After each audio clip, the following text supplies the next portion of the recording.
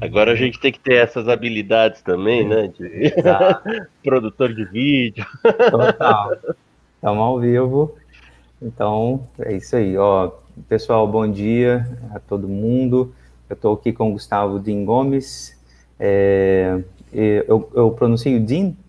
Isso, tá certo, Din. Din Gomes, é, autor desse livro. A gente vai ler um pedacinho dele hoje, Budapeste, Viena e Wiesbaden, o percurso do pensamento clínico teórico de Sandor Ferencz, está editado pela Blucher, é, aqui é a Blucher, e então, queria primeirissimamente agradecer ao Gustavo é, pela presença aqui no sábado de manhã. Então, para vocês que vão ver esse, esse vídeo mais tarde, sábado, 9 de janeiro, 9 da manhã, está aqui o Gustavo trabalhando é, em plena pandemia e pandemônio. É, a gente vai falar, pelo menos a gente vai falar de coisa boa, vamos falar de, do Ferenc, um pouco sobre a, a técnica ativa, o que, que, é isso, a técnica ativa, o abandono uh, dessa técnica, o que, que significou esse percurso, né, um pouquinho da, da técnica, o Gustavo fala muito disso no livro dele, ele tá, vai falar justamente desse percurso, né, assim, de como que o, o Félix, desde os primórdios pré-psicanalíticos, né, dele, né, os primeiros textos dele até os últimos textos, o Gustavo vai fazer esse percurso aqui, então Recomendo muito a, a leitura do, do, livro dele, vou deixar o link aqui na, nos comentários, depois na descrição do vídeo. O Gustavo vai falar um pouquinho hoje do, especificamente, né, da técnica ativa, a gente combinou a primeiríssima parte do capítulo 7, mais ou menos da página 309 até a 319, mas, claro, é uma conversa de uma hora, uma hora e pouquinho, Gustavo, pensei, então vou, vou te interrompendo, provavelmente né, os alunos da disciplina, se é, aparecerem por aqui no sábado, vão também mandando questões, o pessoal do, do canal, né? E o último recado, antes de te falar, passar a palavra, é, é que esse é um canal no YouTube, mas que está ligado a um projeto de extensão que eu coordeno na UFMG, é, conversas virtuais sobre a psicanálise. A ideia é que a UFMG, né, ela, ela tenha esse alcance também via extensão, né, para fora dela, né, é, e eu acho que essa é uma das funções da universidade pública, né, assim, de que gerar conhecimento, gerar, né, conversa, né, conversa crítica, inteligente, é, que tenha efeito efetivamente, né, assim, na, na cultura, no nosso caso específico, na clínica, né, para pensar a psicanálise, para pensar o mundo também a, a partir da psicanálise. Então, queria te agradecer também em nome da UFMG, não só em meu nome, né, pela, pelo trabalho, pela dedicação, enfim, é, te passo a palavra te agradecendo mil vezes, né, trabalhar de graça. E, e no sábado, realmente, é, né, assim, em nome da amizade, então, muito, muito obrigado. Valeu. Tá bom. Bom, Fábio, eu que na verdade também retribuo aí, tá me ouvindo bem? Tá? Eu retribuo aí os agradecimentos, né? Para mim é um super prazer estar tá, tá trabalhando contigo, essa pessoa tão, tão querida que você é, né? Concordo contigo aí com relação a, ao papel da universidade pública, super me identifico com isso. Acho que se alguma coisa que ficou a gente vai tirar de bom desse momento de pandemia é essa abertura, né, essa potencialização de trocas, né, que a gente está tá tendo, né? Então já participei de aulas que você fez com gente aqui de São Paulo, enfim, né? É, pessoal da USP aqui, então acho que isso é é brilhante, enfim, né? E uma razão muito pessoal, assim, porque eu tenho uma relação atávica com Minas, porque os meus pais são mineiros, né? Então, para mim, além de tudo, tem essa esse lado afetivo que para mim é um prazer muito grande estar tá, tá conversando aí, especialmente com, com os teus alunos, né? Enfim. Então, para mim é muito muito legal estar aqui com vocês. Uh, e, e, amanhã não tem problema, porque eu sou super matutino. Então, eu tô acordado desde as quatro e meia, na verdade. Mano, tá, mas vamos lá. Por onde você quer que eu comece? Você quer começar propondo alguma coisa? É que pensei, pensei nisso, assim, um, um brevíssimo percurso. É, no que que significou é, a pergunta assim, né, eixo que eu queria que você falasse para a gente, já que você fez esse percurso no livro, né? É, é, quais foram as principais mudanças na, na clínica, né, na técnica, as pro, pro, propostas efetivas de mudança na técnica que o Ferenc se propôs, é, mas principalmente essa, né, são os termos-chave, assim, queria que você tentasse passar por eles, Gustavo, assim, o que, que é a técnica ativa, afinal de contas, que história que é essa, o que que isso, como que isso se relaciona com a técnica que o Freud tentou usar com o Homem dos Lobos, né? Uhum. É, é, isso, é apressar a análise, é né, mandar o cara descruzar a perna, parar de fumar, né? é, por que, que ele abandona isso, né? A tá. técnica ativa tenta ir, né? E o, se der tempo, né? Queria que você passasse um pouquinho também nessa no, no, naquilo que vai se desenvolver durante pouquíssimo tempo, mas que eu acho que é o pós-abandono, por assim dizer, da técnica ativa, né?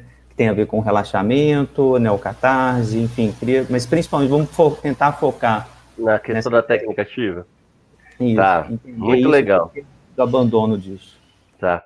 Então, é, é isso, a, a, a, isso que você está me propondo falar, Fábio, é, é, muito interessante, porque, na verdade, o, todo o, o, projeto, né, que acabou se tornando meu mestrado e acabou virando livro, começou daí, né? Eu fiz uma formação é, em psicanálise, né? E tinha uma abordagem bastante ligada ao Lacan, né? E quando eu comecei a trabalhar na clínica, né? É, eu percebi certas limitações naquilo, dentro da minha maneira de ter é, me apropriado daquele referencial, né? E eu sempre achei que a minha o meu compromisso era com o paciente, né, ou analisando, né, a palavra que a gente quiser usar. Então eu optei aí por um caminho de tentar descobrir o que é que se passava, né? Eh, sempre fui muito curioso, sou aquele tipo de leitor de nota de rodapé, sabe? O meu livro tem muitas, porque eu sou assim, né? Eu gosto de procurar as coisas onde estão escondidinhas. E aí eu fui comecei a ler outros autores, né? Isso tornou, me tornou um cara muito curioso por história da psicanálise, autores diferentes, coisas assim.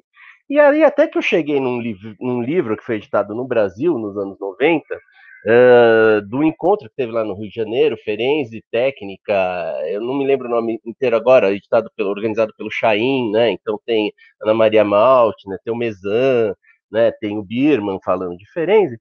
E aí, uh, eu já conheci o Ferenzi de orelhada, mas nunca tinha me dedicado, assim. E aí, eles faziam uma certa correlação justamente com algo do manejo do Lacan, do tempo lógico, dessas coisas todas, com a técnica ativa, né? E, eles falavam assim, bom, mas o Ferenzi, de certa maneira, em algum momento abandonou isso, viu que isso tinha problemas, tinha limitações, coisas assim.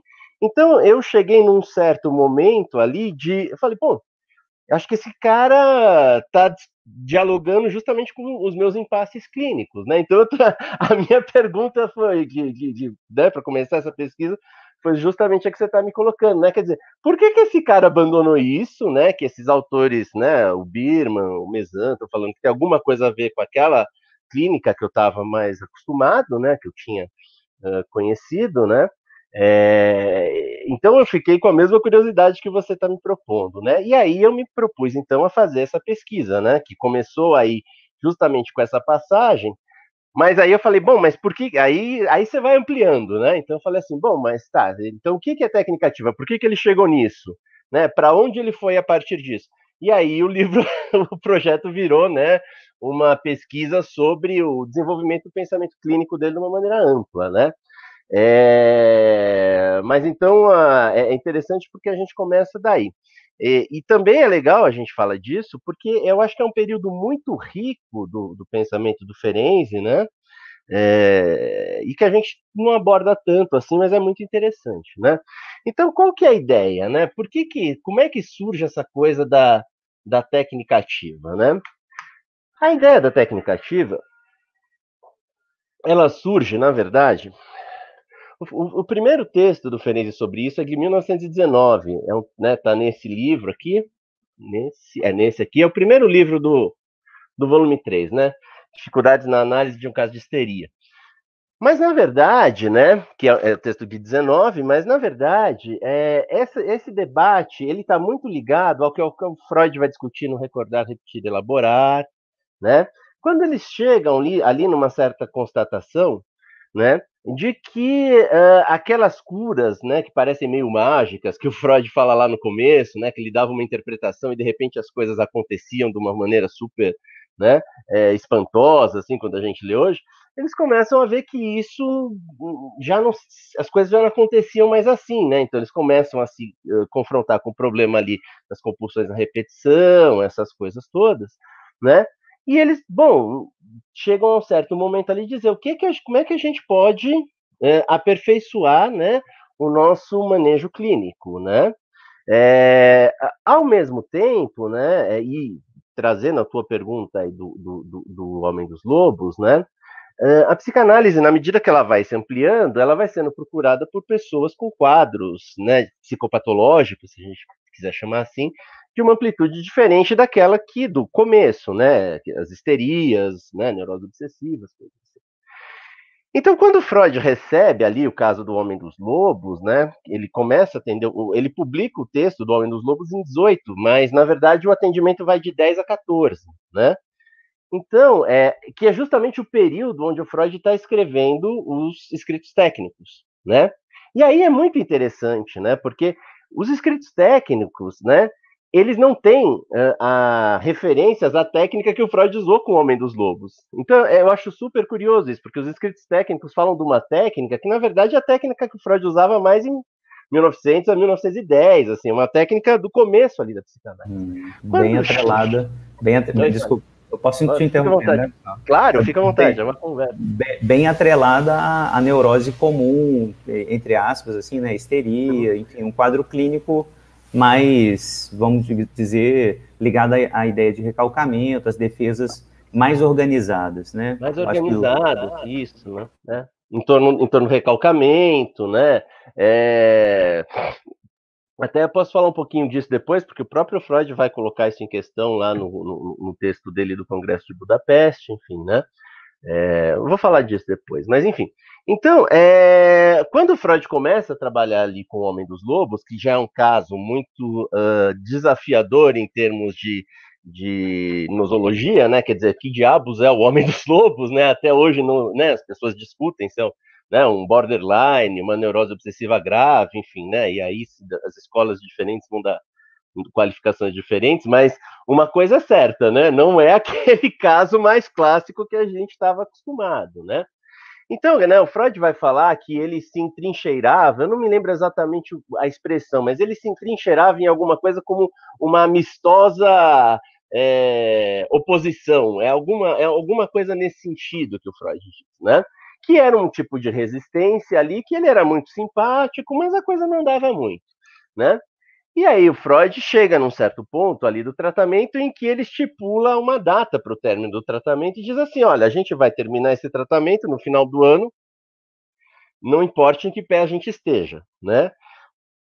Com isso, o Freud tentou, né, de alguma maneira, fazer com que é, aquelas, aquelas resistências, né, elas se desfizessem, né? Olha, confrontou ele ali com o fim, então, né, vamos sair dessa posição, né, de não associar. É, é importante falar, né, resistência aí no sentido de não associar, né, de ficar numa coisa meio conversa ali, que não vai, não é muito para lugar algum, né? Então ele coloca essa, é, ele, ele promove aí essa intervenção, né, é, tentando uh, confrontar essa, essa resistência de uma maneira bastante é, direta, né? E então aí a gente tem o começo disso, né? A gente pode falar que aí a gente tem o começo disso. Então qual que é a ideia, né? A ideia, aí então a gente já pode tirar alguma coisa do que seria uma ideia de técnica ativa, né? Técnica ativa então tem a ver com algum procedimento, algum manejo, né? Promovido pelo clínico, visando confrontar uma resistência né, que vai gerar um incremento de tensão. Né? Então, né, eu vou tentar fazer você se confrontar com aquilo, né? Então, é, é, é, por essa via que esses autores que eu falei lá no começo, né, do, Mesan, Birman, né, aproximavam. Hoje tem um questionamento, né, as pessoas acham que não tem tanto fazer, mas de qualquer forma, né, os lacanianos, de qualquer forma é uma aproximação interessante, né.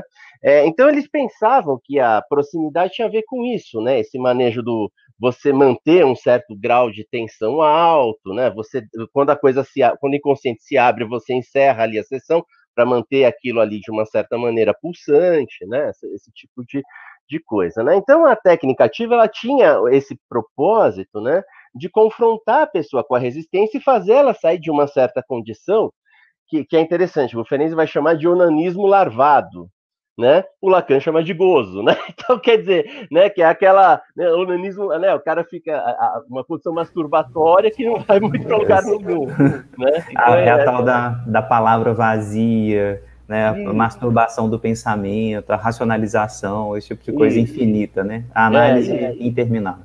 Isso, perfeito, né? Então, é, é, perfeito, é isso. Então, o Freud ele começa por aí, né? Um pouco tempo depois, né, o, o Freud diferente, né, é, aí para não sei o quanto os teus alunos conhecem, né, da situação dos dois, mas os dois muito, muito amigos, né, correspondentes. Então, tá assim, o que um fazia, o outro sabia e vice-versa, né? É, eles trocavam muito, muitas cartas e esse período em especial de cinco anos, né, é um período que eles trocam muita carta. A, correspondência do Freud e do Ferenczi ela é organizada eh, na, em francês e em inglês em três tomos. O primeiro tomo vai de 8 a 14. O segundo tomo vai de 14 a 19. E o terceiro tomo vai de 19 a 33. Então, esse 14 e 19 é o momento que eles estão mais se escrevendo. Né? São mais, são aproximadamente 1.500 cartas. Então, vocês imaginem, né? É, então, o que o Freud fazia, o Ferenczi sabia e vice-versa, sem contar que o Freud foi analista do Ferenczi nesse período, essas coisas, né? Então, o, o que que acontece? O Ferenczi, ele recebe no, no consultório dele, isso é o caso que ele conta aqui no Dificuldades no, na análise de um caso de histeria, né?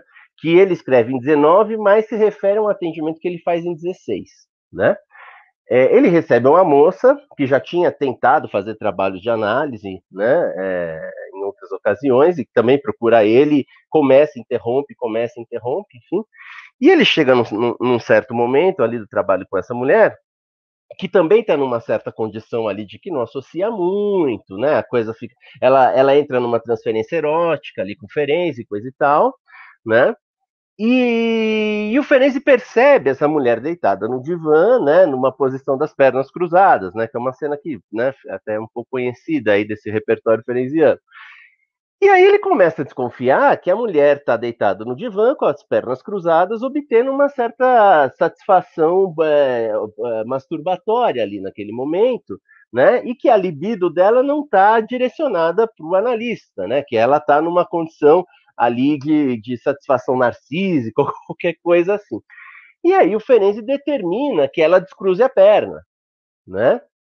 E quando ele determina isso, ela acha isso estranho, porque até então, né, bom, psicanálise, associa, interpreta, você faz o que você quiser aqui, né, no sentido de ficar deitado e dizer o que te vem à mente, e eu vou interpretar o que te vem à cabeça, mas de repente ele faz uma coisa que não é isso, né, ele manda a mulher descruzar a perna, né, e aí a mulher descruza e aí a coisa começa a, a evoluir em termos de surgirem novas associações.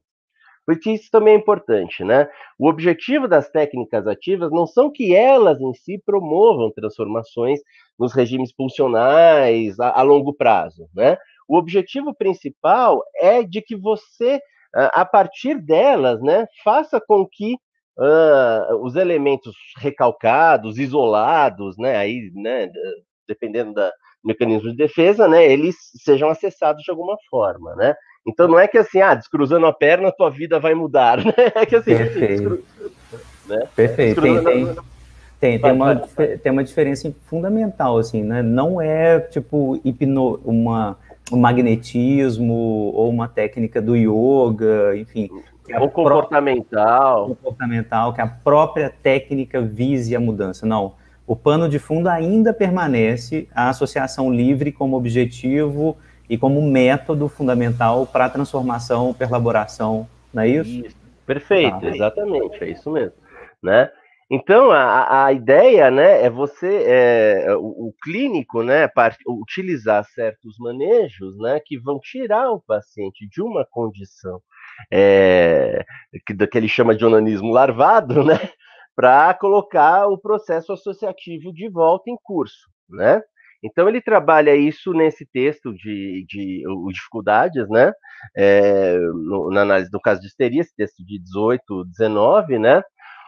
O Freud leu esse texto, né? E antes do texto ser publicado, né?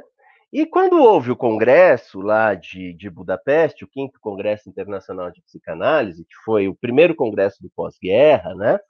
É, na Academia de Ciências de Budapeste, o Freud ele escreveu um texto que é um texto bem. Nós que estudamos Ferenc, a gente acha esse, é, esse texto é um texto importante para a gente, porque é um texto onde o Freud marca os limites da própria técnica psicanalítica que ele criou, né? Uh, e, que ele, e que ele descreveu ali nos, nos escritos técnicos, né? Então é um texto onde o Freud diz assim: olha, eu criei uma técnica né, para trabalhar com adoecimentos histéricos, e ela funciona muito bem para isso.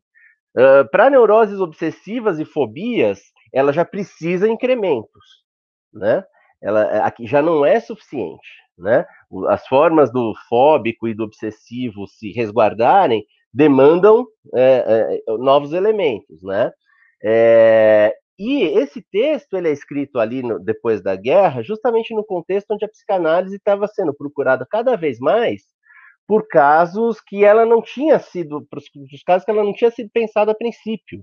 Né? Você tinha ali os traumas de guerra, essas coisas todas que começam a surgir. Na verdade, esse congresso ele foi bancado pelo governo húngaro, na época um governo comunista, né? a primeira república eh, soviética não uh, russa foi na Hungria, né? Então, é, ele foi mancado por isso, porque esse pessoal queria saber o que fazer, se a psicanálise conseguiria ajudá-los de alguma maneira, com o pessoal que voltou da Primeira Guerra Mundial, todo né, é, complicado ali por conta das neuroses de guerra, né? Então, esse é um texto muito interessante, porque o Freud vai falar de análise institucional, né? É o texto onde termina, né? Que o Freud fala aquela frase famosa: talvez a gente precise misturar o ouro da psicanálise com o cobre da sugestão, essas coisas, né?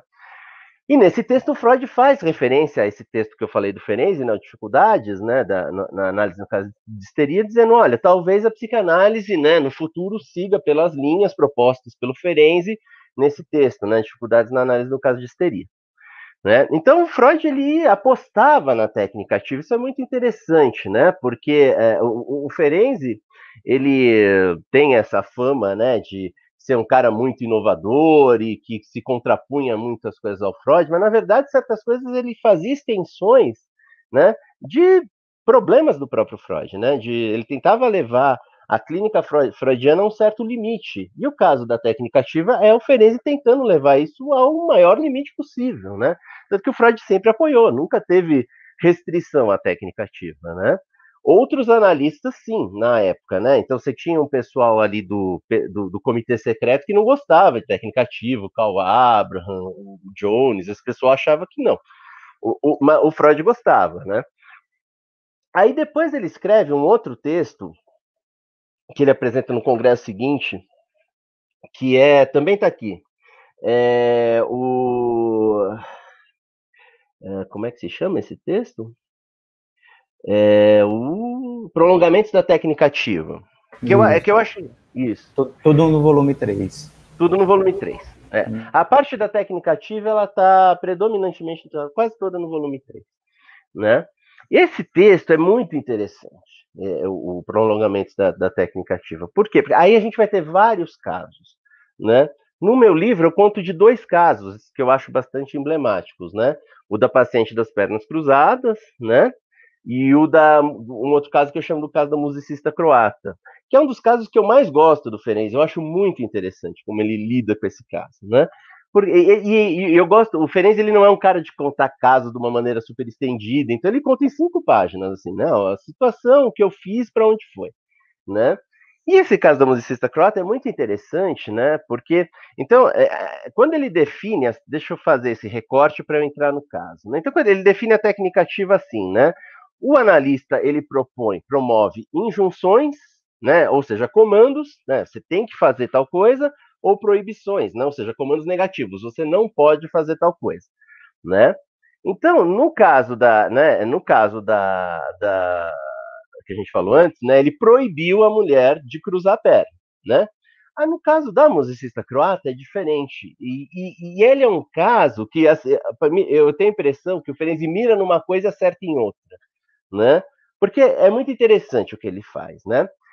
ele chega para essa moça chega, vai fazer análise com ele, né? Também já tinha feito outros tra trabalhos de análise e já estava assim mais ou menos conferência disso. Ela meio que já sabia como ela funcionava, mas isso não implicava em grandes mudanças, né? E aí ele fala assim para ela, bom, né? Associa tal. E aí vem uma música na cabeça dela, né? E aí ela fala da música, mas o Ferenzi fala assim, acho que isso aí não é o suficiente, né? E aí ele fala, canta, né? Então eu não quero só que você declame a letra, canta. Aí a mulher começa a cantar. Aí ela começa a cantar, aí ela levanta do divã, aí ela representa coisas assim, né? Então, aí ele impõe a ela que faça alguma coisa, né? Ele impõe, né, que ela é, é, é, faça um gesto além daquilo que ela estava fazendo, né? E aí ele percebe, né, que ela se empolga com esse negócio do cantar, e aí tem uma coisa a ver com a irmã, que, né, tem uma, tem uma questão a ver com isso, tal, enfim. Mas ele percebe que ela se empolga, e aí ele diz assim, bom, vamos voltar à análise. Agora você já cantou, vamos voltar à análise, né? E pensando nisso aí dentro de um fluxo associativo, né, o que, que isso poderia trazer, tal, enfim, né? Ah, por que, que eu digo que ele mira numa coisa e me parece que ele acerta em outra, né? Porque uh, um dos motivos que o Ferenczi vai perceber as limitações da técnica ativa, qual que é, né? Como eu falei para vocês antes, a técnica ativa, ela confrontava situações de gozo, né? Então ele tentava se opor a isso, né? Só que nesse caso, olha que interessante, né? Quando ele coloca a moça para cantar, a moça começa a ter uma baita satisfação. Né? Então é ativo num certo sentido, mas isso não, Sim, não, é uma... não é privação mais. Aí não é privação mais, é o contrário, né? Ele é o contrário. Que... É o contrário. Uhum. Tipo, é, é... é, é, pela via da satisfação oral, então vamos lá. É. Não é, né? Você não pode fumar ou você não pode se masturbar e tal. Não, ah, tem uma oralidade aí, então vamos por aí que quero ver o que que produz. Aí tem coisa, né?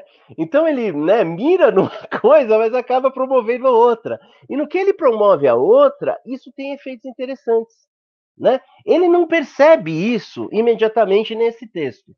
Né, de que ele teria, é, a, tentando acertar de um lado, ele acertou do outro, porque aí ele estava mais preocupado em dizer como é que funcionava a técnica ativa, no sentido de tentar uh, ensinar para outros analistas como é que ele fazia isso. Então, ele estava mais preocupado com a técnica, né? Nesse texto que eu falei, no prolongamento. É um texto bem interessante, tem vários casos. Enfim, é um texto mais, um pouco mais longo. Os textos diferentes não são super compridos, mas esse tem umas 20 páginas, né?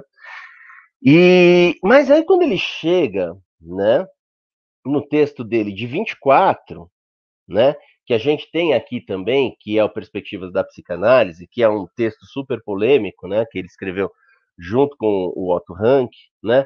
No primeiro, no primeiro capítulo, isso na verdade ele é um livrinho, né? Aqui a gente só tem metade, porque ele é um livro tão polêmico que quando o Barnett organizou as obras completas do Ferenzi, ele tirou a parte que tinha escrito pelo Otto Rank, né? Existem edições em inglês, francês da, do livrinho completo, né? Eu tenho, mas aqui só tem metade do livrinho, né? Que é o livro, na verdade, onde começa o desentendimento do Freud com Ferenczi, né? Porque desse aqui o Freud não gostou muito, tanto, o, o, o Perspectivas, porque já é uma uma outra abordagem ali, né? Que ele vai propor da uh, reduzindo a, a, o valor da, da rememoração, ampliando o valor da repetição, essas coisas todas. Né? Então aí você já tem um certo problema com Freud. Né? Mas aí nesse texto ele já vai reconhecer o valor de certas satisfações que se obtém a partir né, daquilo que ele tinha visto nesse caso aí da musicista croata. Né? Então, aí, gente, aí ele publica esse texto, né? E por que, que eu digo que esse é um período muito rico? Porque, uh, em paralelo, né, até quem, quem tiver o livro, você que tem, enfim, né? O, o, o livro eu, eu, construí ele numa cronologia, então cada capítulo é um certo período numa sequência cronológica. Mas se você observar, o período que vai de 1919, 1920 a 1924 é o único que tem dois capítulos, né? Por que, que ele é o único que tem dois capítulos? Porque nesse momento, o Ferenzi estava trabalhando com duas coisas em paralelo. Uma das coisas é a técnica ativa, outra das coisas é aqui a questão da catástrofe, do trauma, da neurose de guerra, do talassa, né? Enfim. Então ele está trabalhando com, com dois campos em paralelo. Na minha leitura, né? Quando a gente chega nesse ponto, que por isso que eu sugeri que a gente fosse por esse, esse pequeno capítulo do livro, é quando ele chega num ponto de inflexão entre essas duas linhas paralelas. Né? Quando ele começa a perceber que o que ele está trabalhando ali do trauma, da catástrofe, né, do, é, que, é, que parece um tanto abstrato quando você lê o Talassa, né, isso tem uma aplicabilidade clínica muito considerável. Só que você tem que fazer uma modificação né, no teu pensamento clínico, né? E essa modificação ele vai poder fazer justamente por uma crítica que ele vai fazer à técnica ativa, né? Que vai estar tá num texto que também está aqui no volume 4, no volume 3, desculpem, né, esse aqui, que é o Contraindicações da Técnica Ativa, né?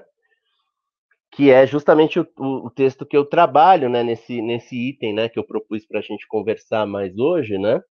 Uh, por quê? Porque o, contra, o, o contraindicações da técnica ativa é justamente o texto de transição, né?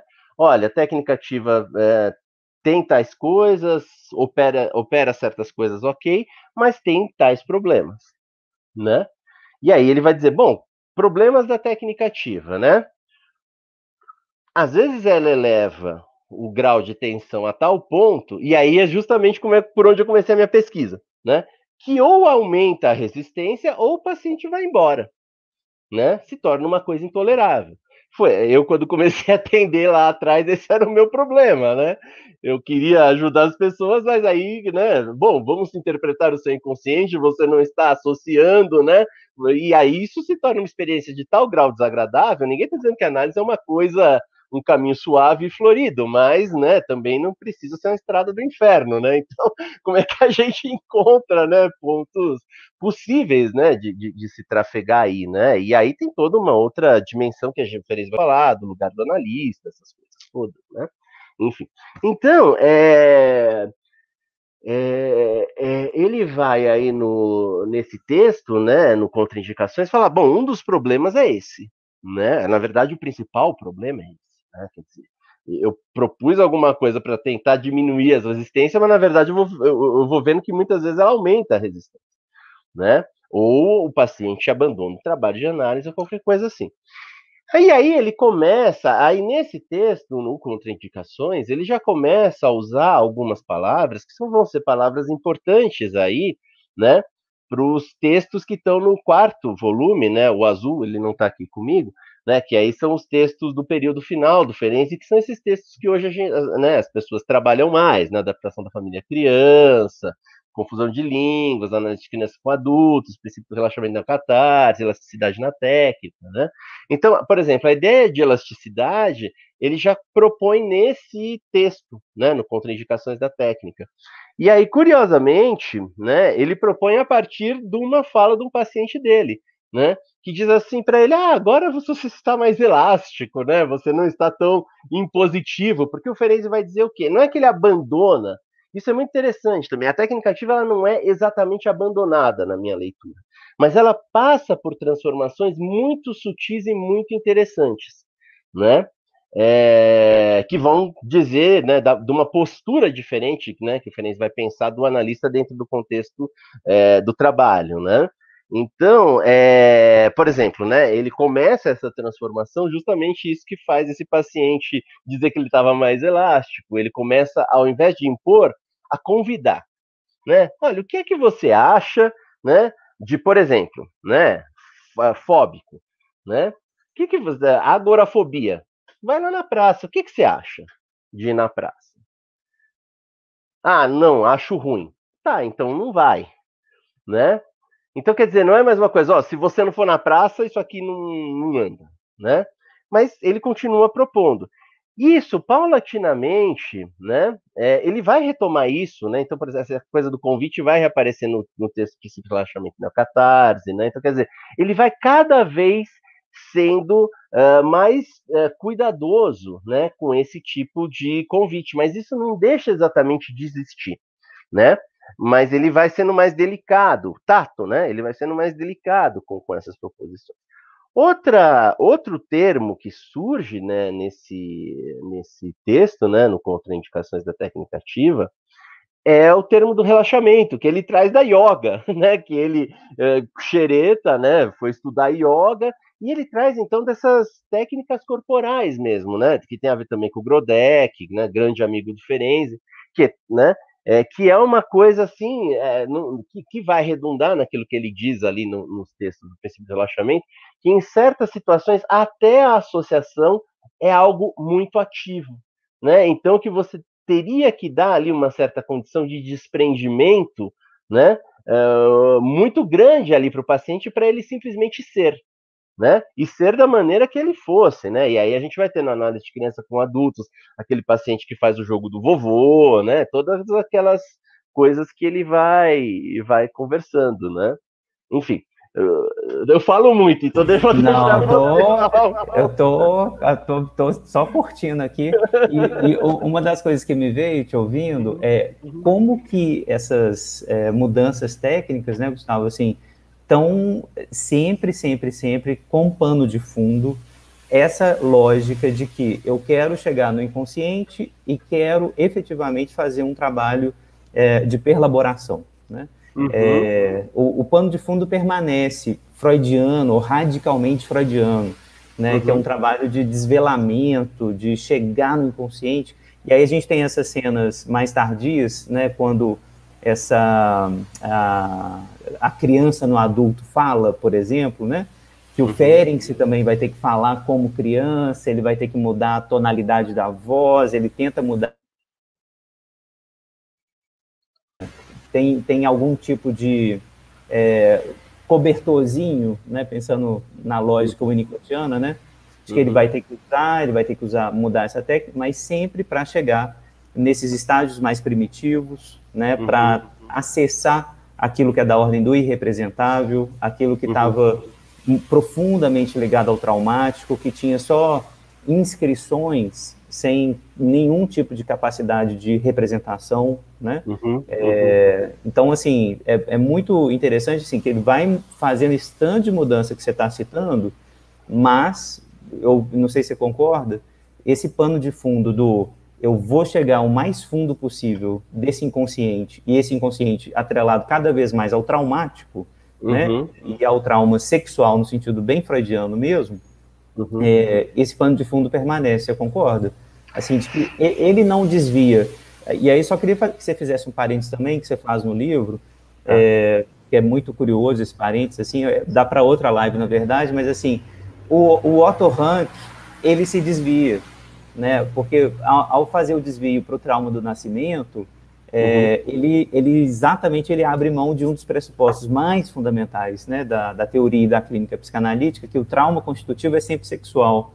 Uhum, né? uhum, e o, o, o Ferenc, ele está, de alguma maneira, conversando com o Rank, ele está próximo dele, ele escreve com ele, é, essa coisa de terminar a sessão tem muito de Rankiano, né, assim, você uhum. tem que passar por esse trauma aqui da separação também, a gente tem que uhum. fazer esse, esse parto aqui da, da, da análise, né? É, uhum. mas o, o Ferenc, ele não segue o Otto Rank nesse sentido, na medida em que ele mantém a prioridade do sexual, parece até o fim da obra uhum. dele. Então, uhum. enfim, só, só, me veio essas coisas aqui. Não, ó, ótimo, ótimo. Até porque isso tem uma, tem uma dimensão aí, acho que a tua leitura de Laplanche te ajuda nesse, nessa, nessa observação, né? Que é, né? Que é alguma coisa que a, a, gente vai conversar mais num certo momento aí, porque isso vai, provavelmente vai passar pela minha tese, né? Mas é, o que é muito interessante aí, o que eu acho que eu posso contribuir a partir da sua fala, né? É que é, esse texto que eu falei de 24, né? O Perspectivas da Psicanálise, né? Qual, que é, qual que é a gênese dele, né? A gente, vocês sabem, né? O Freud, é, ele, a partir do começo dos anos 20, ele se dedica mais à análise didática, né? É, ele, tá, ele teve câncer, começou a ter câncer em 22, né? O Freud ele nunca foi exatamente dedicado à clínica, né? No sentido, não era o que o Freud mais gostava. O Freud é um pensador, né? É, ele fazia a clínica porque isso, né, incrementava ali as coisas todas, tal. Diferentemente do Ferenzi, que por isso que eu chamo o meu livro de clínico teórico, né? Porque para mim o vagão, o, o, a locomotiva do Ferenzi é a clínica, né? É, então, quando o, o, depois desse congresso de 29, veio um congresso de 22, e ali o Freud já tinha escrito Além do Princípio do Prazer, o Ego essas coisas todas, mas a gente não tem, o Freud ele não se dedica a uma atualização da clínica dele, né, a partir desses textos que vão ser a segunda a teoria estrutural, a segunda tópica, aí você tem inibição, sintoma e angústia, né, que ele propõe a segunda teoria da angústia dele, essas coisas, né, e que estão muito relacionadas, né, o inibição, sintoma e angústia está muito relacionado ao livro do trauma do nascimento, enfim, né. Então, quando eles escrevem esse texto de 24, eles escrevem em resposta a uma proposta do Freud, né, de que o Freud faz um concurso, né, sobre a melhor é, escrito técnico que pudesse correlacionar esses temas da segunda da teoria estrutural, da segunda tópica, da segunda teoria funcional, enfim, com a clínica, né? E o Otto, e aí senta o Otto Rank e o Ferenczi para escrever o texto. O texto é publicado em 24, o mesmo ano do trauma do nascimento, né? E eles escrevem o texto achando que eles vão escrever um texto que o Freud vai gostar, né? E o Freud ah, detesto o texto no sentido. Ah.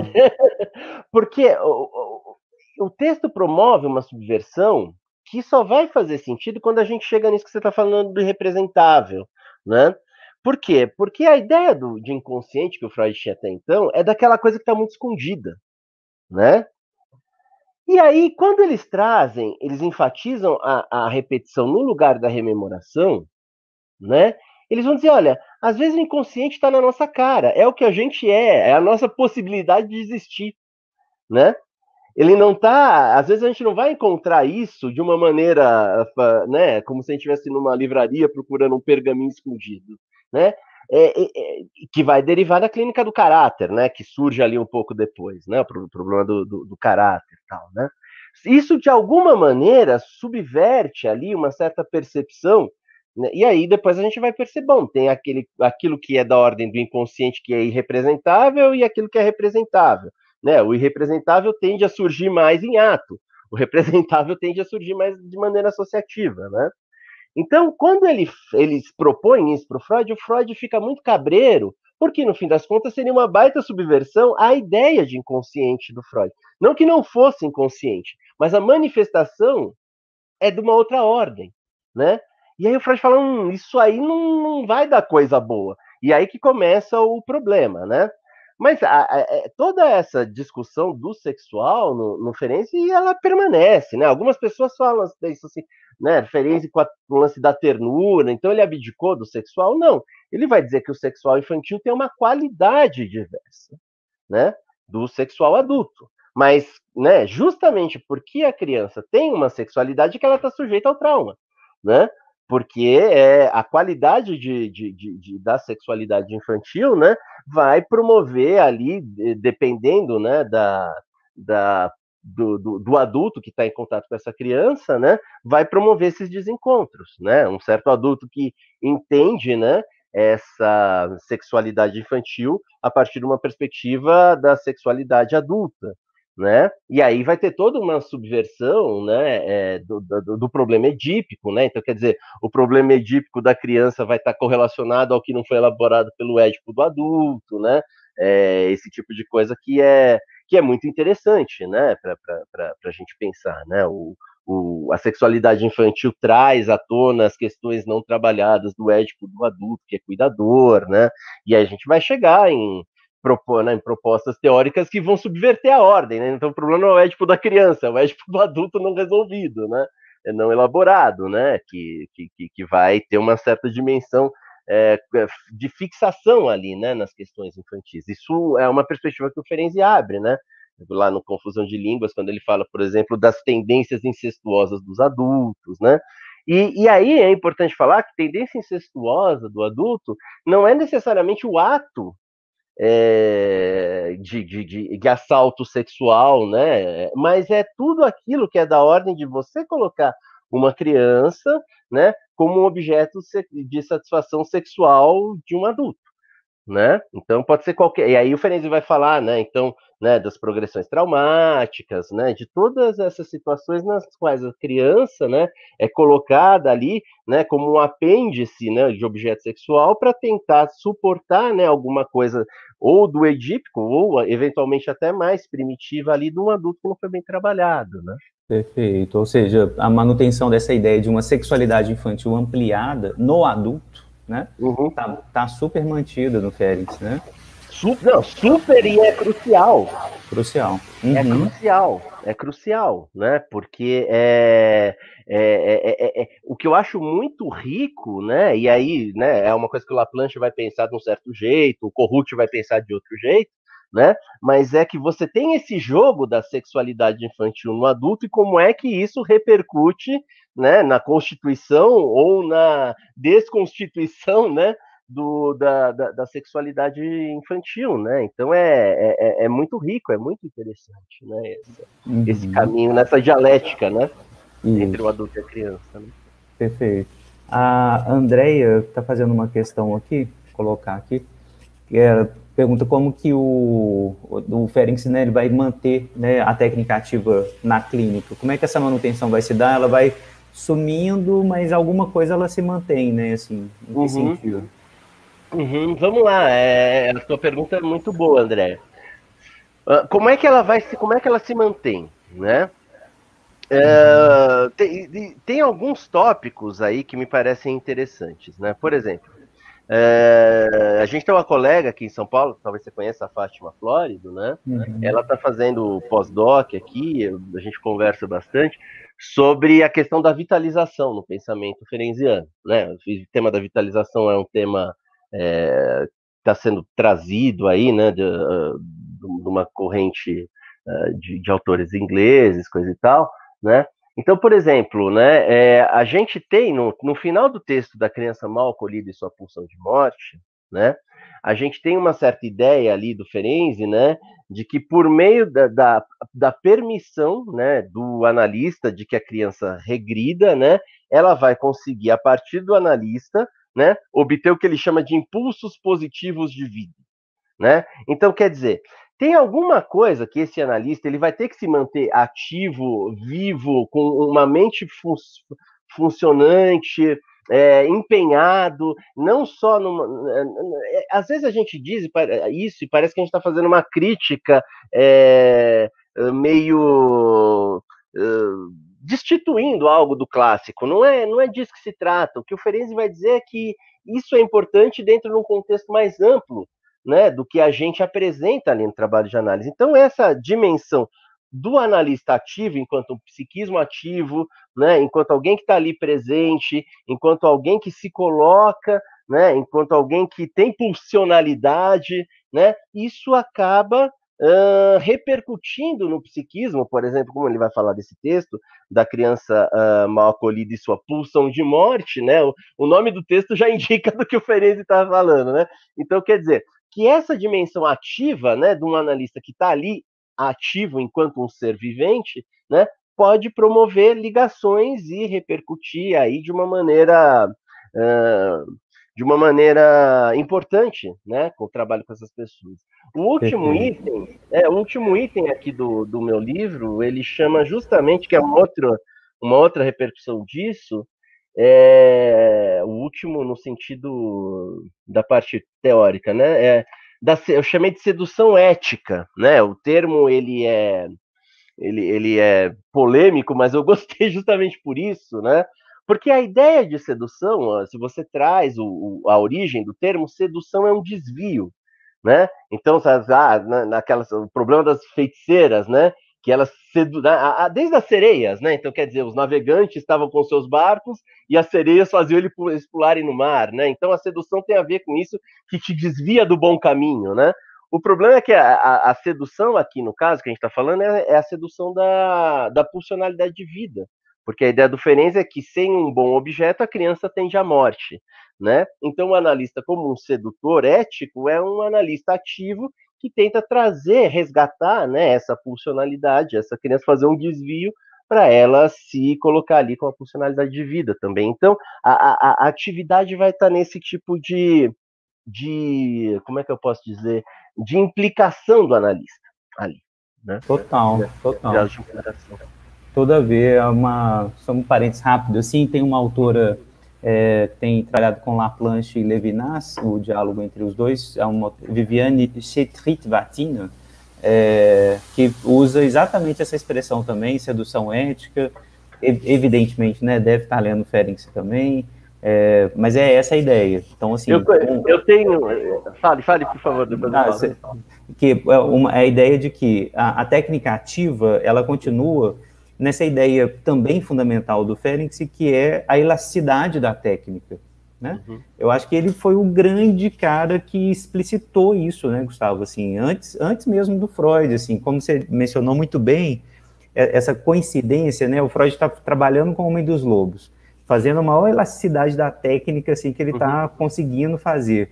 Mas apresenta os textos sobre a técnica com uma ortodoxia né, muito grande, assim, ó, não tem muita elasticidade não, gente, estou uhum. propondo a técnica aqui, é isso aqui que vocês uhum. têm que uhum. fazer, as recusas do analista, né, uhum. enfim, o que vai gerar toda a ortodoxia que o Ferenc vai criticar muito, né.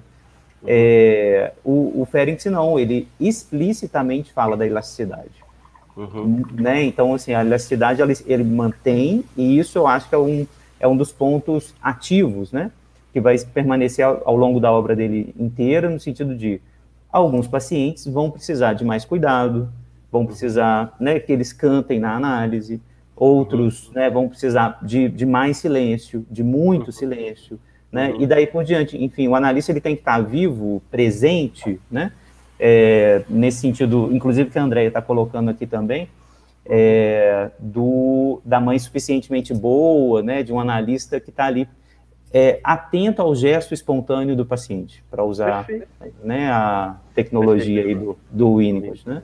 Não, é perfeito. Eu, eu, depois que eu, eu, pensei nessa expressão, expressão eu descobri a, a Viviane. O livro dela é muito interessante. É bem interessante. Uhum. E, e, isso que você está falando, uh, Fábio, é, é, importante a gente. Por isso que é legal a gente conhecer a história da psicanálise. Uhum. Porque eu, eu, eu, eu, estudo história da psicanálise porque eu gosto de história, mas eu estudo história da psicanálise porque estudar a história da psicanálise me, me permite fazer escolhas numa, com uma certa autonomia. E eu acho que é importante a gente fazer isso sem fazer loucuras, mas se manter, né? Podendo uhum. questionar a nossa prática, coisa e tal. Quando uhum. Freud escreve os textos lá dos escritos técnicos, né?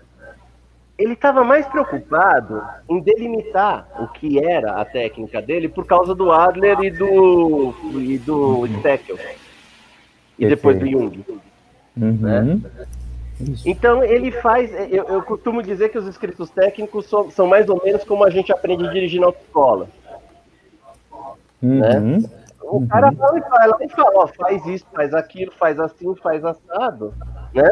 Uhum falando, ninguém dirige como aprendeu na escola. Uhum. Né? Mas o pressuposto é que se você fizer isso muito mal, você não vai fazer. né?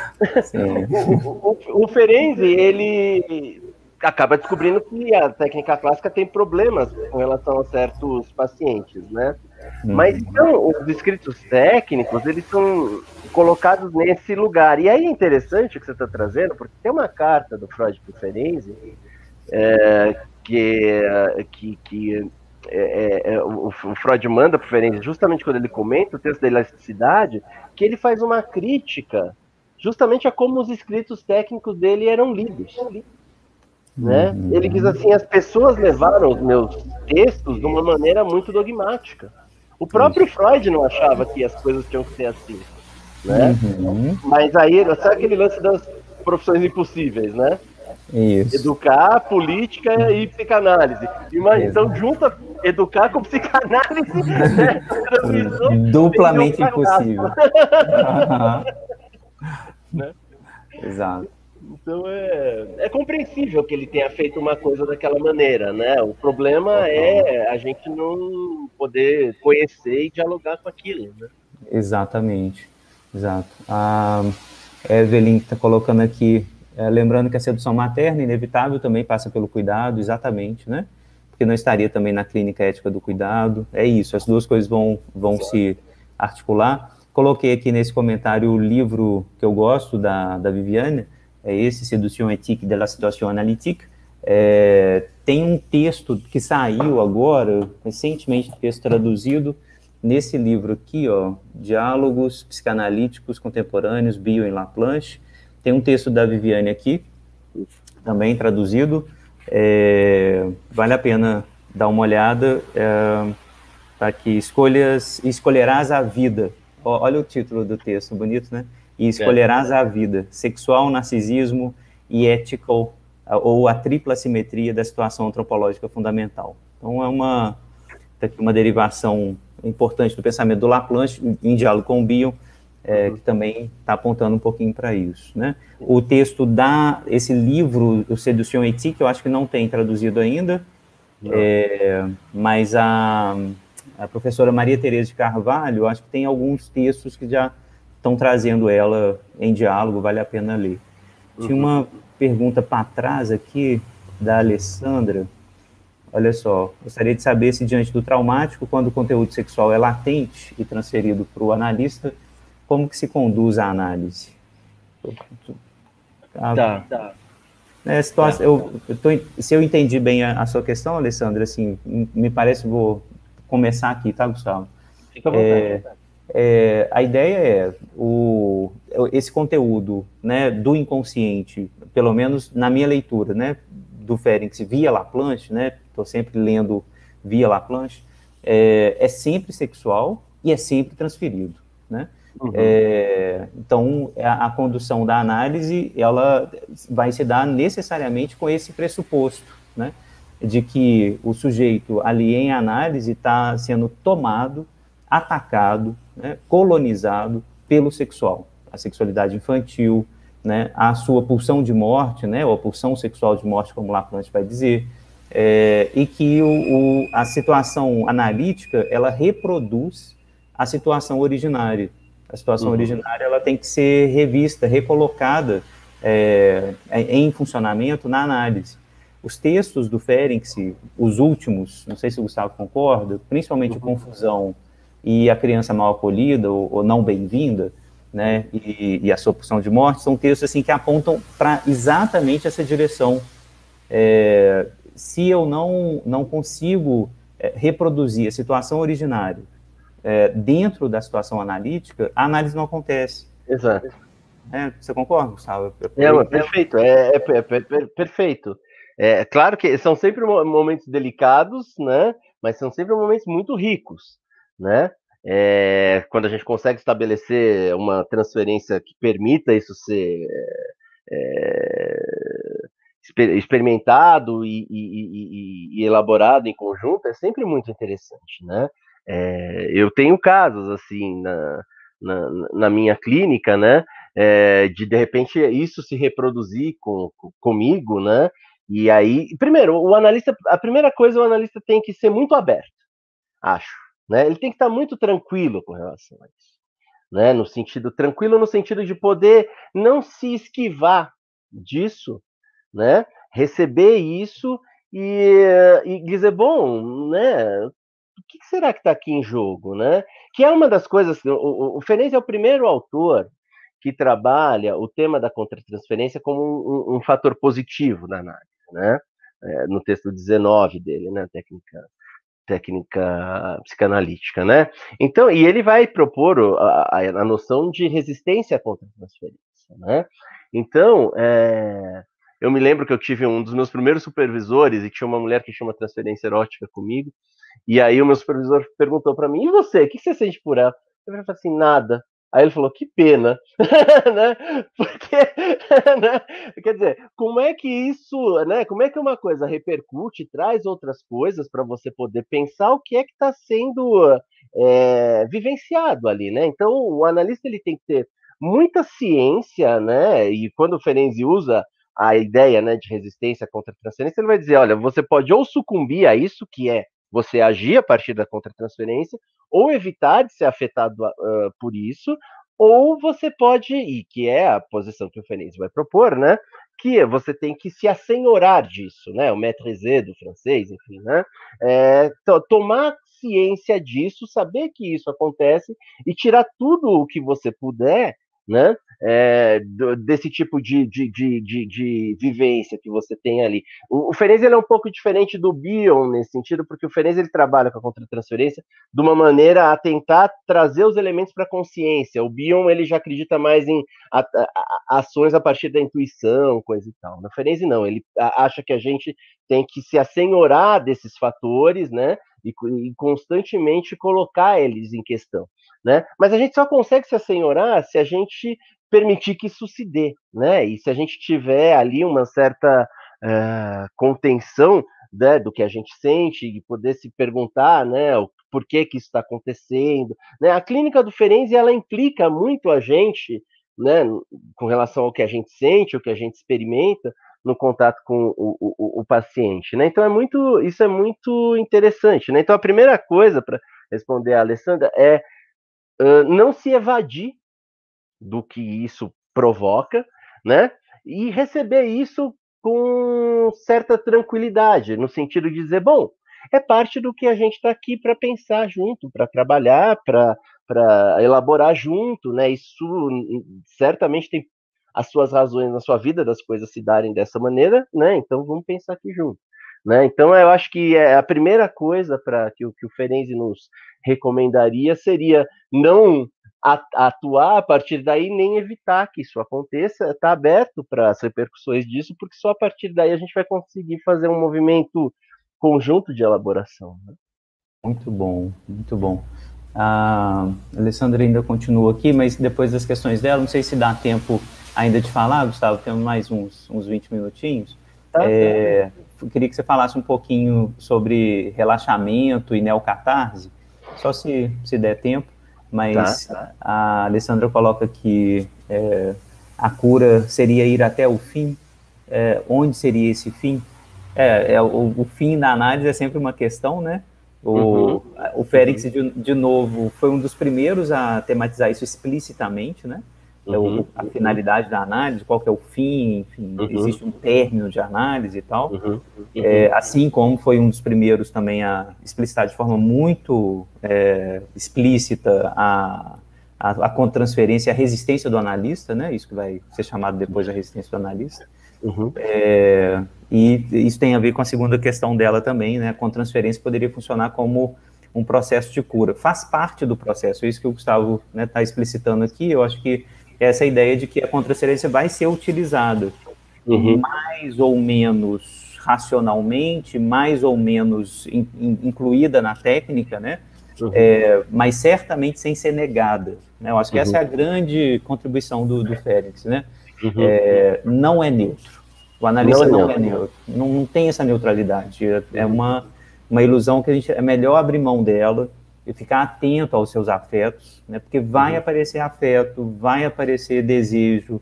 O analista uhum. vai ser sádico, ele vai ser uhum. masoquista, ele vai fazer parcerias eróticas, as mais diversas com o paciente. É melhor estar atento a isso e controlar isso, maîtriser.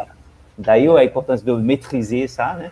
É, é. Controlar isso aí do que achar que você está neutro. Não vai Exato. rolar. Exatamente. Esse texto, aliás, que eu falei, ele está nesse daqui, no verdinho, técnica, né? Ele é, é, uma das passagens mais bacanas, assim, que eu acho da obra do Ferenc, e tem três, quatro páginas. É, é incrível, né? Porque ele vai, até, justo como o Fábio está falando, ele vai falar da dificuldade do trabalho de análise, né, da posição do analista, né? E pegando aí o gancho do que o Fábio falou, é justamente aquilo que pode complicar um trabalho de análise é, é, o que torna o trabalho de análise possível, que, que é o fato de nós, nós sermos pulsionais e sermos afetivos, né? De que a gente é habitado por isso, né? Então, quanto mais a gente puder ter acesso a isso, né? Quanto mais a gente puder conversar sobre isso e eh, com a gente, com os nossos pares, supervisores e coisas assim, mas a gente tende a não atuar isso ou a não evitar isso, né? E manter isso de uma maneira potencializadora de um processo de transformação ali, né? É, com relação a isso. A, a, a, outra pergunta da Alessandra, do fim, de, do fim de análise, isso é muito interessante a tua pergunta, Alessandra, porque o Ferenc ele tem um texto sobre o fim de análise, tá? É, tá no volume 4. É, mas o Ferenc ele morreu, né, de uma maneira um tanto abrupta. Ele não foi um cara como que, que, que pôde ir programando, né, uh, o pensamento dele ali no sentido de perceber que a morte estava próxima e se organizar razoavelmente para isso, né? Então, é, tem certas coisas ali no percurso do Ferenzi que ele mesmo diz que, olha, isso, certas coisas aqui precisam ser melhor elaboradas, né? E aí, especialmente o Balint, né, que uh, tanto por conviver com o Ferenzi, como por ter sido uh, o, a pessoa que ficou com o diário clínico e com as notas e teve acesso quase que so, sozinho por muito tempo, trabalhou com essas questões, né? Então, por exemplo, o Balint é um cara que vai trabalhar muito um problema que o Ferenzi não estava resolvido, que era o problema da regressão benigna e maligna, né? O Balint vai dizer, bom, como é que é, né, regressão na análise importante, mas toda regressão tende a uma transformação ou tem regressões que tendem ao infinito e não levam né, a, a transformações. Né? Isso aí, uh, o Balint vai trabalhar isso desde 32, 35, depois quando ele vai para a Inglaterra, e uma parte do, do que o Balint trabalhou disso, né, está no, no livro da falha básica, enfim, mas ele tem um trabalho de muitos anos sobre esse tema, né? É, um outro tema que eu acho interessante que o Fernandes pa passa a, a, a, a, considerar no diário clínico, isso na minha leitura uh, tem uma certa relação também com coisas que a Melanie Klein vai trabalhar, é a ideia do perdão. A ideia do perdão. Olha só, onde que está isso, Gustavo? No diário clínico, ele, diário ele, ele, uhum. tem, é, ele, tem, duas passagens, né, que ele fala que a paciente conseguiu compreender, né, é, o, algo ali relacionado com os abusos que ela sofreu e coisas assim. E aí ele tem uma frase que ele diz: tudo compreender é tudo perdoar. Né? Quando a gente consegue compreender, né? É, então que, que aponta um pouco ali, né, para uma para certas ideias da Melanie Klein também, né? Posição depressiva, né? Coisas assim, né? Uhum. Então, é, esse é um tema, a pergunta da Alessandra é muito boa, porque é um tema que ele ficou bem em aberto na, na obra do Ferenzi, muito embora ele tenha ali o texto dele sobre o fim de análise, mas no diário clínico a gente vai ter indicações, aponta, apontamentos diferentes, e apontamentos que levam a gente a poder procurar em outros autores, como Balint ou como a Klein, né, é, saídas que dialogam ali com certas coisas que o, que o Ferenzi conversou. Muito né? legal. Muito problema do ressentimento, enfim, né? Uhum. Esse é o... Perfeito. O Reginaldo está perguntando aqui se é possível pensar o Ferenc como um autor fundamental do trabalho nas políticas públicas, né, onde existem vários limites institucionais para uma prática psicanalítica nos moldes mais clássicos. Eu uhum. acho né, super possível. O, o Ferenc, ele, ele trabalhou com essas clínicas públicas, inclusive, não foi, Gustavo? Ele sim, faz sim. parte desse, desse plano assim de uma popularização ou de uma clínica mais popular da psicanálise também. Uhum. E, sim, e ele, ele, eu lembro que no seu livro também você, você comentou isso assim de que ele uhum. ele pelo menos num determinado período é, do governo húngaro lá soviético, né? É, ele era convidado para dar aula na universidade, enfim, ele participou de, de uh, políticas públicas de saúde mental é, uhum. que estava ligado a, ao cuidado dos soldados e tal. Parece que ele, a obra dele meio que perpassa um pouquinho essa coisa das políticas públicas, não é? é super, super perpassa, Fábio, porque é, é, a gente pega esse período que, né, que você está fazendo referência do, do, do, tempo que ele estava ali dando aula, né? Era é, um período de muita pujança é, ali da, da, do pensamento uh, é, e do, da escola de Budapeste ali, né? Tanto que o congresso foi em Budapeste, coisa e tal. Então eles acreditavam que eles iam abrir em Budapeste a primeira policlínica para atendimento populacional, né? Mas acabou que, uh, por conta do Tratado do Trianon e as questões de como é que se administra os espólios de guerra e coisas assim, a Hungria perdeu dois terços do território, uma uma coisa horrível, e outra coisa que uh, morreu Anton von Freud, que era um cara muito rico, ele tinha uma cervejaria, né? E ele era o financiador ali da psicanálise húngara. O cara morreu, né? Então o cara também não quer mais dinheiro. Acabou. Acabou. Aí a, a policlínica acabou sendo inaugurada primeiro em Berlim né? E aí você tem toda a organização ali da Policlínica de Berlim, essas coisas todas, onde justamente o Barnett foi estudar, né? O Barnett, ele começou a formação dele em Berlim, né? Depois voltou para a Hungria e continuou com o Ferenc. E aí o, o Ferenc o Barnett abriram a Policlínica na Hungria em 31, né?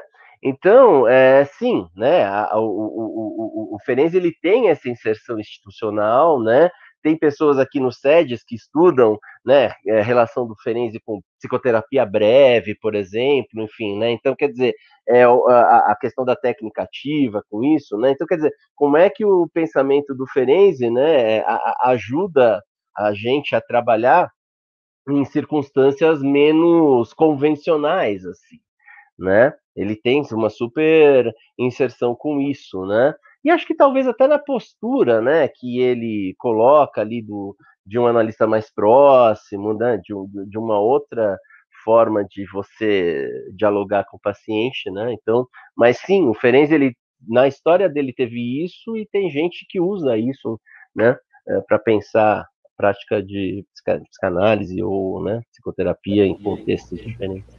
De políticas públicas. Políticas públicas. Tudo a ver. Uhum. Né? E o Ferenc ele também tem um outro lado, né, Fábio, só para complementar, de pensar muito na profilaxia, né?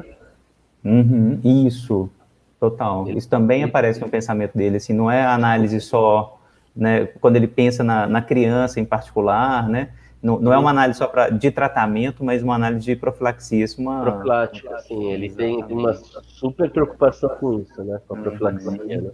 Toda vez. Então, também tem a ver, né, com isso. Sem dúvida. É, o Gladstone está aqui, o fim da análise também diz da finalidade da análise, associada ao término da análise, eu acho que tem tudo a ver. Esses dois temas sempre vão, vão juntos, né? Assim, na maioria dos pensadores que eu leio, dos analistas que eu li, conversando e falando sobre isso, essas duas, é, esses dois temas, né? O fim, término de análise, a finalidade da análise, os objetivos dela, se, se uhum. articulam, né? Então, Super eu acho que no Félix está muito articulado, assim, né? Nesse sentido da o, o Cooperman faz uma leitura bonita, né, Gustavo, assim, da crianceria, da de recuperar alguma coisa da crianceria no final da análise, né? Uhum, uhum. Uma capacidade da criança viva de, né, enfim, criar e representar a partir daquilo que, que vem do inconsciente, das forças do inconsciente. É, um, uma leitura do infantil é, que não é apenas trágico, né? Assim, é uma coisa é, da ordem da criação também. Eu acho que essa é uma das finalidades da análise para o Félix, não é? Super, super concordo contigo, Fábio. É, é, eu acho que se a gente quiser pensar nisso, para além dessa, acho que tem muitas finalidades que a gente, ou a gente pode abordar isso chegando em lugares semelhantes por entradas diferentes, né? Mas o, para é, diferentemente do que a gente costuma ver no Freud, que é essa tendência a lidar com a realidade, né, e lidar com a castração, essas coisas, né? Para o Ferenzi, o fim da, né, o objetivo da análise tem a ver com, acho que de uma maneira até parecida com o Winnicott, de uma certa forma, né, com a gente poder é, viver criativamente, com a gente lidar com a realidade, mas também se afastar dela, né? É, é, tem uma valorização do lúdico, né? É, não é tão tendente, pelo menos na minha leitura do Freud, a uma coisa de a gente se tornar adulto, né? É da gente poder brincar, de ser adulto e poder brincar. Porque isso é parte justamente, para voltar a uma outra pergunta sua, quando a gente quando a gente fala do relaxamento, né, da regressão, o analista também tem que poder regredir, né? Quando a gente fala do jogo do vovô, o Ferenzi pegou um, um, paciente ali que estava numa condição né, infantil e ele só podia interagir com ele, ele regredindo. Que era justamente uma das dificuldades dele com Freud. Faz muito sentido. Uhum. Freud dizia da dificuldade dele com transferências maternas, né? Com situações que colocassem ele numa condição menos organizada, no sentido né, desse psiquismo, né, do uh, princípio de realidade, coisa e tal, né? Então, para o Ferenzi, né, é, é, é, essa mobilidade do psiquismo, né, está entre aquilo que a gente vai pensar no fim de análise, né? A gente poder lidar com uma criança como criança e lidar com um adulto como adulto, e às vezes lidar com o adulto que tem na criança como um cuidador, enfim, né? É mobilidade, plasticidade psíquica, né? Perfeito. Acho que esse é um a, a ideia de flexibilidade, plasticidade, me parece, né? A ideia de é. potencial, tudo isso parece que o Winnicott vai, vai beber muito dessas águas ferencianas, né? É, sim. É, uma das a questão aqui do Rodrigo. Nesse momento pandêmico, tem pensado numa substituição da atividade com certo dosagem da empatia do analista, pois em alguns casos vem percebendo que alguns pacientes mais clivados tendem a abusar um pouco do acolhimento do analista, ficando colados no analista, estagnando a associação. O que, que vocês acham? Tá. É, eu, eu, eu, sempre, eu, eu sempre tendo a, a, a ir mais para o cuidado, a evitar essa clínica da produção da angústia, né? É, do que, a, em primeiro lugar, colocar essa, essa clínica né, da produção da angústia, da castração, enfim, do silêncio, né? É, não, deixa o, o analisando ir sozinho. Eu tendo a evitar essa técnica né, principalmente nesse, nesse período, né, uhum. é, agora, assim, que a gente está vivendo um período muito traumático, né, muito violento, é, muitas perdas muito concretas, né, é, e não, não sei, assim, mesmo que haja um, um, certo tipo de abuso desse acolhimento, né, de querer ficar mais colado, de querer usar mais o espaço analítico, eu tendo a acolher, mais acolher isso do que é, né, sustentar ali a posição, não, você está aí sozinho e, e, angustiado, você tem que manejar sua angústia, tem que dar conta disso aí. Claro uhum. que tem, né? Mas não, não sei se é sozinho, não. Né? Eu tô, tô pensando um pouco nessa direção. Assim, eu acho que o, o Ferenc, quando, quando ele estava falando lá dos, dos soldados de guerra, né, dos pacientes muito é, clivados, muito regredidos, né, muito pouco acolhidos, né? Uhum. Ah, muito pouco bem-vindos, né, Gustavo? Assim, a criança não bem-vinda, né? Uhum. É, é, é, o, é o terreno mais fértil para a pulsão sexual de morte, né? Uhum. Esse, esse não bem-vindo é, que o Ferenc está apontando, ou não acolhido, é, é exatamente um, um, certo tipo de é, ausência desse adulto nessa situação originária, desse adulto que fornece junto com a criança e não apenas para a criança os materiais tradutivos, simbolizantes, né, de ficar junto, de encontrar um espaço transicional também para a tradução desse sexual que é mais disruptivo, né? Uhum. É, então, olha, isso, a per... quem fez a pergunta? Desculpa, o não Rodrigo. Rodrigo. Rodrigo. Rodrigo. Tá. Rodrigo, a tua pergunta também é muito legal, porque ela, é, é, é ela leva eu a falar de um outro aspecto, que é assim, uh, o, o, o Ferenzi, ele é um cara que ele não coloca a gente nunca numa condição muito confortável. O que, que eu quero dizer com isso, né? É, nenhuma formulação dele, ele pensa como uma formulação final, né? Então ele vai dizer, olha, eu fiz a técnica ativa, e eu percebi que havia traços ou que ela poderia ser interpretada como uma técnica sádica, né? A técnica do relaxamento, ela também não é para ser uma técnica masoquista. Né? Então, quer dizer, né? É, como é que a gente lida com essas, com essas, com essas duas coisas, né? Com, com essas duas polaridades. Então, a tua pergunta me faz pensar nisso. Mas é, é, eu concordo com o Fábio. E aí é interessante, porque como eu falei, né? O Fenez ele morreu nesse momento de muitas ideias. Então, algumas ficaram em aberto. E o que eu acho muito legal é que, por exemplo, o Fábio ele tem essa leitura do Laplanche, né? E a leitura que ele tem do Laplanche potencializa a leitura que ele tem do Ferenzi em certas direções, o que é muito legal de escutar, né? De alguém que, que tem essa abordagem. Né? Eu, te, eu gosto muito do Corrucci, é um autor bem importante assim para minha clínica, né?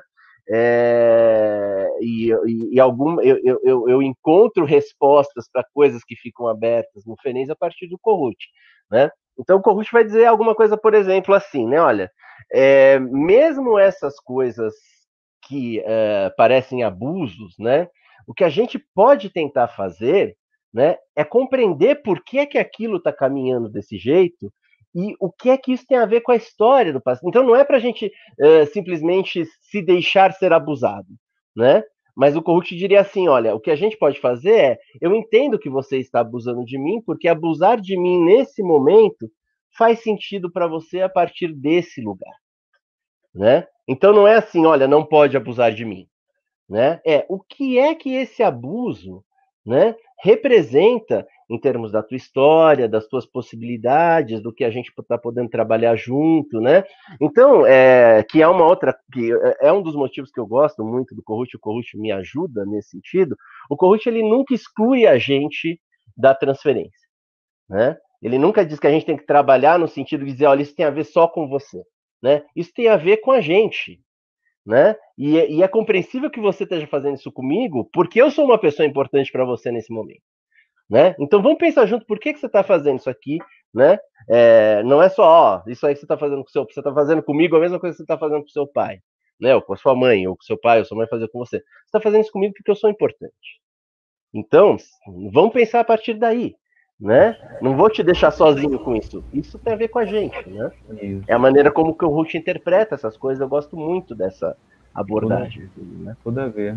Acho que o Laplante vai na mesma direção, assim, de pensar na transferência, efetivamente, né, assim, está acontecendo, tô, vou, vou tentar entender é, por que, que você está fazendo isso agora, né, e está precisando de tanto, né, tanto colo, ou tanta demanda, ou tá, né, enfim, está assim, demandante demais, etc, né? Isso, e, isso. Tem, e, aí tem tudo a ver com o que o Rodrigo comentou agora, assim, eu entendo o que vocês disseram, mas eu estava me referindo a um paciente onde achei que o acolhimento favoreceu um aumento de sintomas corporais e quando põe um limite o paciente melhora. Isso, eu acho que vai ser exatamente nesse caso a caso, né? Uhum. É, é, é, exatamente essa abertura, né, de, de sentido da clínica que torna a clínica impossível, né? É.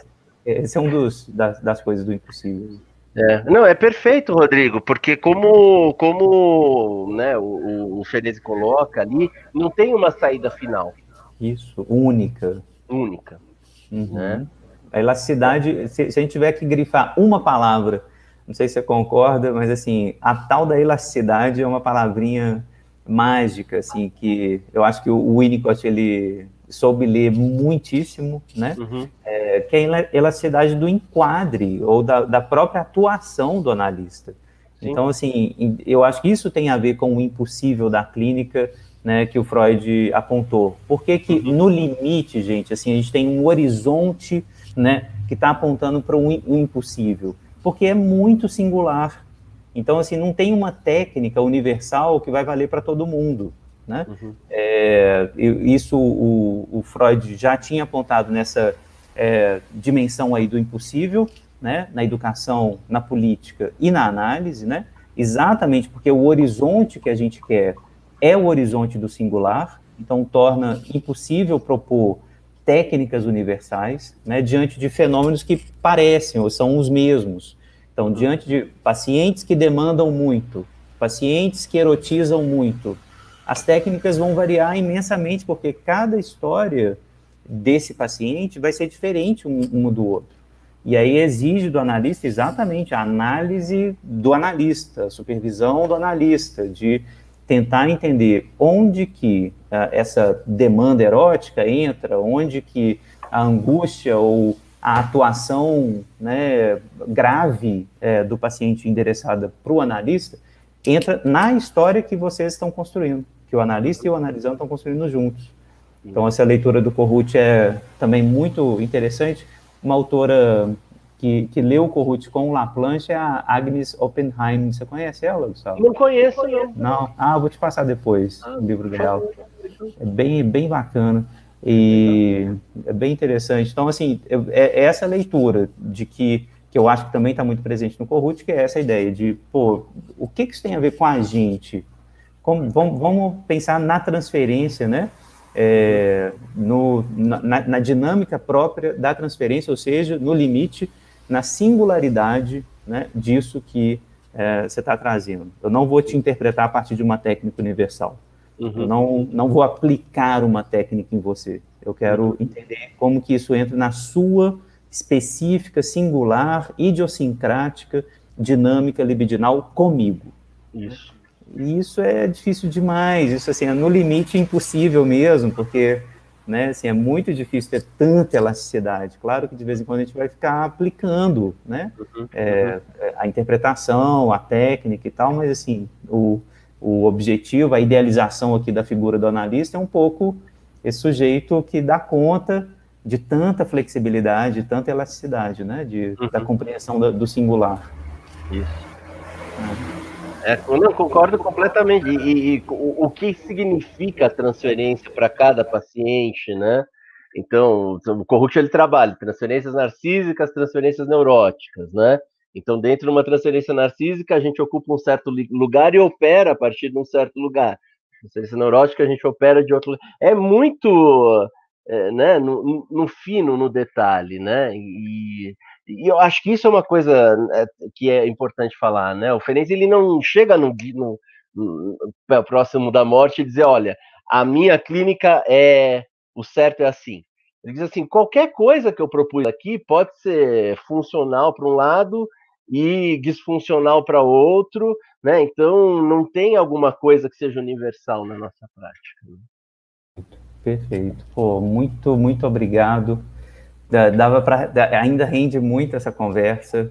Então, eu queria, mais uma vez, antes de terminar, recomendar aqui a leitura do livro do professor Gustavo, Budapeste, Viena e Wiesbaden, o percurso do pensamento clínico teórico do Sandor Ferenczi, editado pela Blucher, tá aqui.